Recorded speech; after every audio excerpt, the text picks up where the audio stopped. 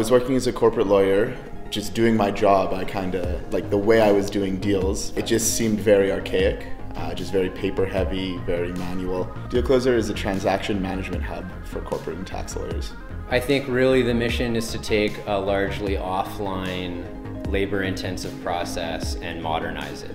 There, there should be no reason that you're driving downtown going to your lawyer's office because you have 50 documents to sign. That's just, it's not the case anymore. I think the most encouraging thing that we found directly from customers was that their clients like it. That's, that's ultimately what we want to nurture is the relationship between the lawyer and their client. We were actually starting to need office space, like a place where we can all get together and work together side by side because too much was happening. Work Nicer has been great. You know, they supply the furniture, they supply the branding. It's a great space to be involved yeah, I'm just very excited for uh, the energy they have and the vision they have for uh, what Work Nicer will be.